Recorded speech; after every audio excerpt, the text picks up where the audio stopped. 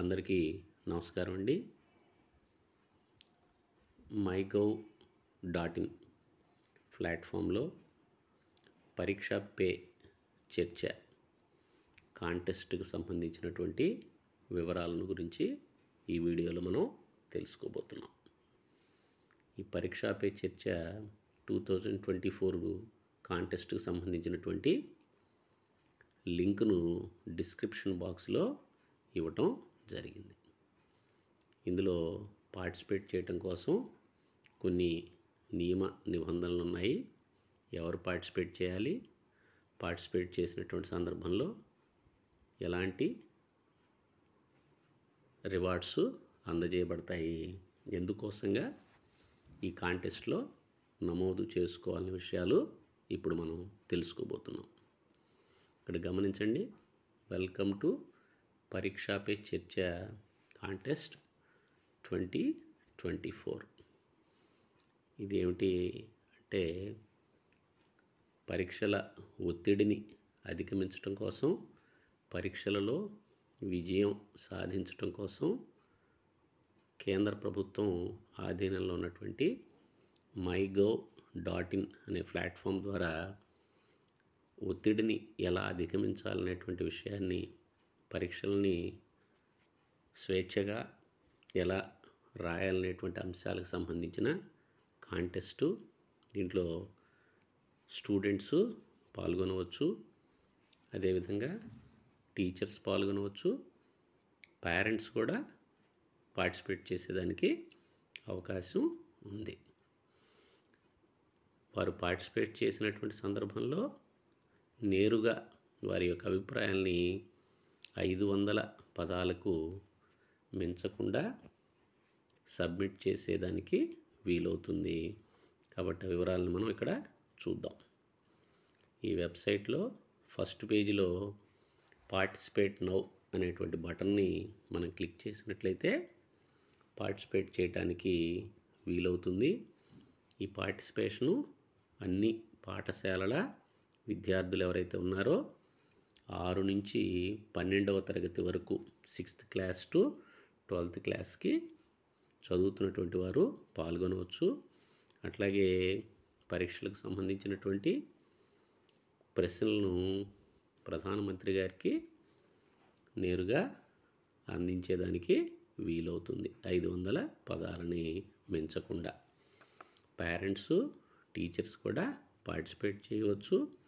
కాబట్టి దీంట్లో పార్టిసిపేషను చేయటం కోసం స్టూడెంట్ సెల్ఫ్ పార్టిసిపేషన్.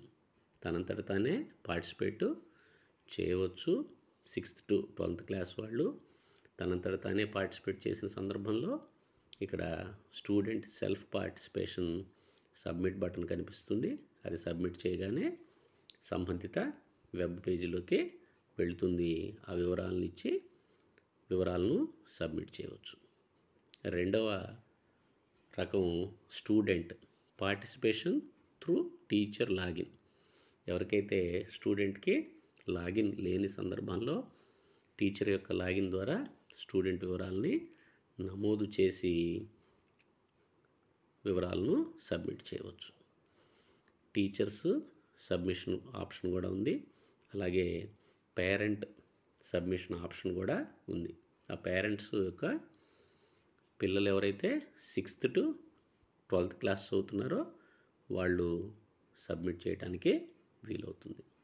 మరి రివార్డ్స్ ఏమి ఇవ్వబడతాయి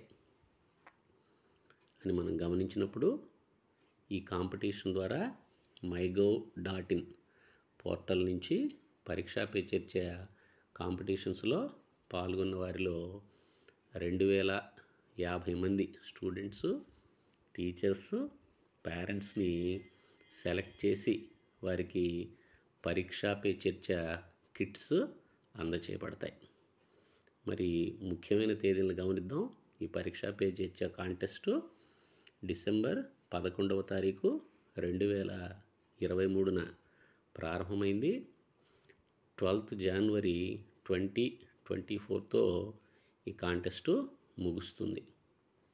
ఈ కాంటెస్ట్ యొక్క గొప్పతనం ఏమిటంటే డైరెక్ట్గా ప్రధానమంత్రి మోడీ గారితో కనెక్ట్ అయ్యేదానికి వీలవుతుంది.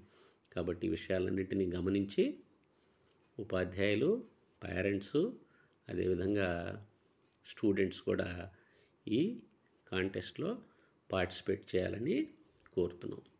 మరొకసారి ఈ పేజీ యొక్క మొదటి పార్ట్ని గమనిద్దాం. మై గవర్నమెంట్ డాట్ ఇన్లో ఇప్పటికే రిజిస్టర్ చేసుకున్నట్లయితే రిజిస్టర్ చేసుకోవాలి. రిజిస్టర్ చేసుకున్న వాళ్ళు వారి యొక్క ఈమెయిల్ ఐడితో కానివ్వండి లేదా మొబైల్ నెంబర్తో కానివ్వండి ఓటీపీ ద్వారా లాగిన్ అవ్వచ్చు. ఇక్కడ పార్టిసిపేట్ నవ్ అనేటువంటి బటన్ని నేను క్లిక్ చేస్తున్నాను చూడండి.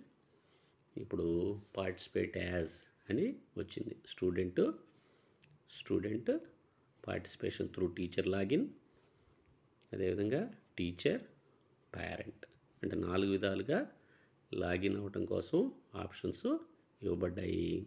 ఇప్పుడు నేను స్టూడెంట్ లాగిన్లో పార్టిసిపేషన్ త్రూ టీచర్ లాగిన్ అనేటువంటిది సబ్మిట్ చేస్తున్నాను.